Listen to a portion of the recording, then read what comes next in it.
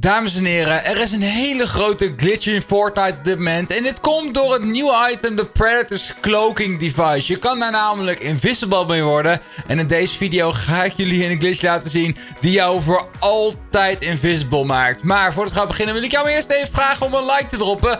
Kunnen wij de 2000 likes halen op deze video? Ik zou het super tof vinden als we dat kunnen. Abonneer ook even op de veel gevraagd met dat belletje aan. En ik zou het ook wel tof vinden als iedereen eventjes de supporter creator code te veel invult in de Fortnite item shop. Want dan krijgen we namelijk 5% van jouw aankoop. Ja, je hoorde het goed. Ik heb dus een glitch waarbij je voor altijd invisible kan worden. En ik moet toch eventjes zeggen, glitchen is verboden. Dus doe het op eigen risico. Je kan er namelijk voor verbannen worden. Sterker nog, als je de glitch gaat doen waarbij je volledig invisible gaat worden... die ik dus later in deze video ga laten zien... dan weet ik vrijwel zeker dat je daar verbannen voor gaat worden. Dus gebruik deze glitches echt op eigen risico. Het liefst zelfs niet. Nou, laten we beginnen met de eerste glitch. En dat is ook een hele, hele sterke glitch. Het is namelijk een no-fall damage glitch. En deze kan je eigenlijk met een beetje geluk doen. Je hebt best wel, sterker nog, je hebt best wel veel geluk nodig om deze te doen. Maar als je deze glitch kan doen, uh, en dat je het voor elkaar krijgt, dan is het heel erg sterk. Ik heb hier geen video, voorbeeldvideo van. Want ja, nogmaals, je moet veel geluk hebben om dit te kunnen doen. Want je hebt namelijk een Shockwave Grenade nodig. En die heb je niet per se nodig in de normale game. Nee, deze moet je vinden in het Spawn-eiland. En als je in het Spawn-eiland een Shockwave Grenade hebt gevonden... dan moet je uh, wachten tot de timer van de Battlebus afgelopen is. Of bijna afgelopen is. Dus vlak voordat je de Battlebus ingaat. En uh, één of twee seconden voor die tijd lanceer je jezelf met die Shockwave Grenade de lucht in. En je moet dan uh, de grond niet raken. Dus daarom moet je dat goed timen. En terwijl je dus in de lucht zit, moet je dus die battlebus ingaan. En als je dan die battlebus uitspringt, dan heb je de Shockwave Grenade effect voor altijd. Tenzij je gaat zwemmen. Als je gaat zwemmen, gaat om een of andere reden dat effect weer weg. Maar je kan nooit meer fall damage pakken. Je kan maar niet uit hoe vaak je op, de grond valt. De hele of nooit meer is overdreven. In ieder geval, de hele game kan je niet meer fall damage pakken. En dit is echt overpowered. Dus doe dit echt op eigen risico. Want ja, je kan hier letterlijk voor verbannen worden. En uh, ja, ik, zou het persoonlijk niet misbruiken.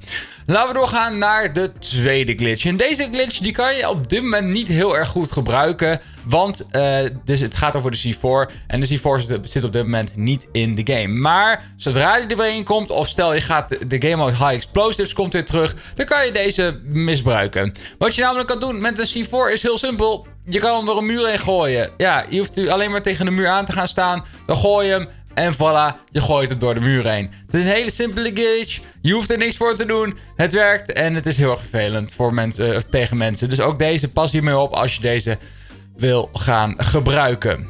Laten we doorgaan naar de volgende glitch. En deze glitch heb ik al een keer aan jullie laten zien in echt een paar maanden geleden volgens mij. En dat is een manier hoe je naar het Spawn-eiland komt. En toen ik het aan jullie liet zien, was het mij niet gelukt. Maar deze keer heb ik een wat simpelere manier gevonden hoe je naar het Spawn-eiland kan komen in iedere game. Uh, of in iedere, ja, maakt niet uit wat voor game mode je doet. Wat je moet doen is nogmaals, pak die boot. En wat je dus nu moet doen is zo ver mogelijk varen, zoals eigenlijk altijd. Dus op een gegeven moment word je teruggestuurd uh, van dus weg van het eiland. Dat is eigenlijk altijd een soort van invisible barrier. Wat je nu moet doen is, zodra je wordt teruggestuurd, moet je meteen terug, terugdraaien. Dus letterlijk meedraaien. En dan moet je een beetje onthouden waar die barrier is. En dan moet je heel langzaam naar voren gaan. En dan, als je eenmaal naar voren gaat, switch van seat. En dan op een gegeven moment gaat je boost af en gaat hij in één rechte lijn naar voren. Sterker nog, op een gegeven moment ga je ook nog in first person mode. Dat ziet er wel grappig uit. Jullie zien het ook in de video. Uh, dan is alles een first person. Geen idee waarom dit is. Maar uh, het gebeurt. En misschien dat er ooit first person in Fortnite komt. Ik weet het niet. Ga ik niet in mijn handen aanbranden. Maar in ieder geval First person, dat word je. En op een gegeven moment kom je bij het eiland. En dan moet je even oppassen. Ga niet weer in je boot zitten. Want je boot die draait gewoon weer om en gaat gewoon weer terug naar het eiland. Je moet namelijk uit de boot springen. Dus uh, ga gewoon uit de boot en zwem dan vervolgens naar het Span-eiland toe. Dat is de makkelijkste manier om daar te komen. En op deze manier ben ik ook op het Span-eiland gekomen. Je kan hier verder niet heel veel mee. Je kan er vrij bijna niemand kwaad mee doen. Want op het Span-eiland is niet heel veel bijzonders te doen op dit moment. Behalve dat je het Span-eiland nog even lekker kan bekijken kijken. Je kan misschien wat leuks doen met je vrienden daar. Maar voor over het algemeen kan je er niet heel erg veel. Dus ja, het is voornamelijk gewoon een leuke glitch. Laten we nog gaan naar de laatste glitch. En dat is waarschijnlijk ook de glitch waar jullie op gewacht hebben. En deze glitch is uh, zo OP dat ik hem zelf niet eens gedaan heb. Want ik wil het risico niet lopen. En uh, ik zat er te twijfelen om deze aan jullie te laten zien. Maar ik wil deze toch aan jullie laten zien. Omdat als jullie uh, door iemand gekild worden die deze glitch heeft gedaan. Dan weet je in ieder geval hoe hij dat gedaan heeft. En dat het een glitch is. En dan kan je hem daarvoor reporten. Dus dan moet je hem niet reporten voor hacking. Maar dan moet je hem reporten voor glitching. Uh, dat zijn twee verschillende dingen. En dan kan je dus ook uitleggen in de report file van waarom je hem report. En dan kan je dus zeggen dat hij deze glitch op die manier gedaan heeft. Waardoor Epic Games het sneller weer fixt. Want deze glitch is echt game breaking als je het mij vraagt. Wat je namelijk uh, kan doen is je moet dus een Predator cloaking device hebben. Die krijg je als je de Predator killt. Uh, als je die hebt, binnen hebt dan is het eigenlijk heel simpel.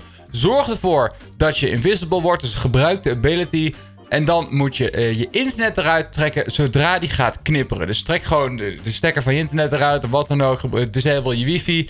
Uh, vervolgens moet je zo'n 15 à 20 seconden wachten. En als je dat gedaan hebt, moet je internet gewoon weer erin pluggen. En voilà, je bent invisible voor de rest van de match. En sterker nog, je bent niet alleen invisible. Je kan ook gewoon schieten. Je kan bouwen. Je kan dingen gebruiken. Je kan echt alles doen wat je normaal gesproken kan doen. Alleen je bent ook invisible. Dus dit is wel even een heel groot ding. Als, als, je kan dus op deze manier mensen gewoon killen zonder dat ze het doorhebben. Dus ik raad iedereen aan om dit niet te doen. Ik, ik, kan, ik kan het niet vaak genoeg herhalen. Doe dit niet. Ik laat dus nogmaals dit voornamelijk zien. Zodat je mensen kan reporten die jouw invisible killen. Want zodra je gekillt bent, kan je hem spectaten en dan zul je zien dat hij invisible is. En dan weet je eigenlijk al genoeg. Want uh, even voor iedereen die niet weet, als je normaal gesproken de Predator cloaking device gebruikt, dan schiet je iemand neer. Of dan schiet je niemand neer. Dan kan je juist niemand neerschieten. Dan kan je niks. Als je, je bent alleen invisible. En door deze glitch kan je ook schieten en al die dingen. Dus ja, ik, ik hoop dat jullie een beetje een idee hebben van hoe deze glitch dus werkt. En ik hoop dat het snel gefixt wordt. Het zal mij niks verbazen als de Predator cloaking device binnenkort disabled wordt. Want uh, ja, dit is een best wel game-breaking glitch. Dames en heren, dit waren alle dingen die ik voor jullie had. Alle glitches die ik voor jullie had. Ik hoop dat jullie deze video heel erg tof vonden. Als je het vonden, drop even die like. En abonneer op de Wilgevraagd met een belletje aan. Klik op de video, zometeen in beeld. En dan zou ik zeggen, tot de volgende keer. En peace out. Doei!